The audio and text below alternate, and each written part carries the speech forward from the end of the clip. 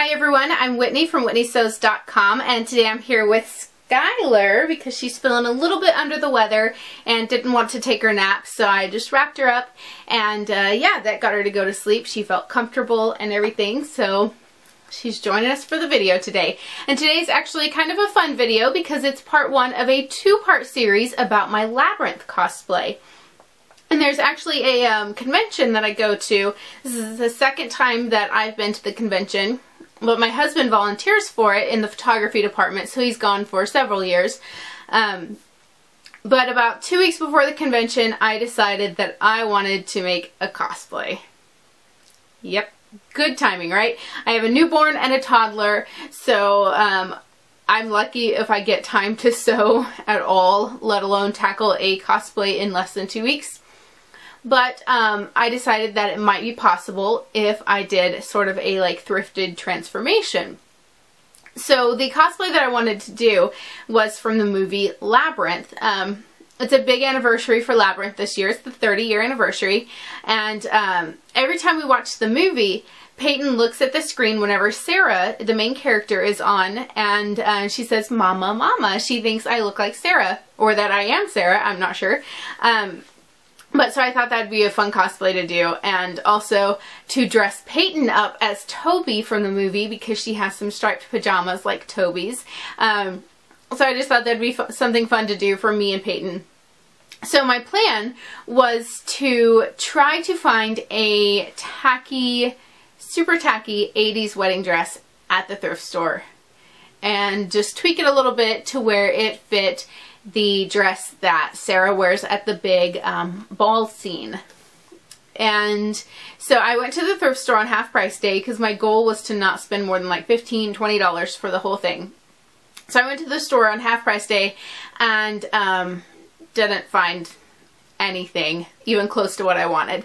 Um, so I had to make a whole new plan while I was at the thrift store and um, ended up buying several different things to all put them all together to create the cosplay. And it actually worked out really well. Um, but yeah it was not what I had originally planned on. Um, but anyway so in this video here in just a second I will have the haul video that I filmed the day I went shopping. So I show everything that I got and then um, kind of talk about what my plans for them are and then in part two of the series, I will show the finished costume photos and some progress photos while I explain um, kind of how I went about putting the entire cosplay together. And yeah, it was a lot of fun and I hope you will subscribe and make sure to come back for that second video. But without further ado, let's get right into the haul video of all the supplies I picked up for this cosplay. The first thing I found was marked $3, so I got it for $1.50. And it's this like sheer kind of overlay. I don't know if it was supposed to actually be worn out or if it's some sort of weird like nightgown. I'm not sure. But the reason I got it is because of the sleeves. It has these billowy sleeves. They are see-through and I don't want them to be see-through and I want them to hold their shape. So I'm going to um, attempt to make a narrow inner sleeve and um, then stuff in between the two sleeves so it holds its shape. The next thing I found is something that I may or may not actually use for this costume because I already have something like this. It is a wedding petticoat. It is um, floor length and I already have one that is a drawstring around the waist and that's the one I'll probably actually use because this one is a fitted waist and it's size 6 and I am definitely not a size 6 right now um, but I did go ahead and get this one because I went to the store also wanting to get a wedding petticoat because I want to do a different project so I think I will save this one for the other project I'm going to use and for this costume use the wedding petticoat that's already in my closet. But I did want to show this since um, this is an item, a similar item to what I'll be using. This was marked $7, so I got it for $3.50. I also found a vintage tablecloth. It is labeled 1992, so technically it is vintage. and it was marked $4 so I got it for $2 and it's this really pretty um, tone on tone damask it's like slightly shimmery. It's really nice. It's a lot of yardage. Um, unfortunately it has some stains on it. Um, so I am going to OxiClean this and see if the stains come out. If they don't, I'll either try to work around them or just make sure they are placed on the back side um, because I'm planning on using this to create a overlay skirt um, to go over the petticoat. The final thing that I got because um, I searched and searched and searched. I will link below to a picture of the costume I'm trying to create.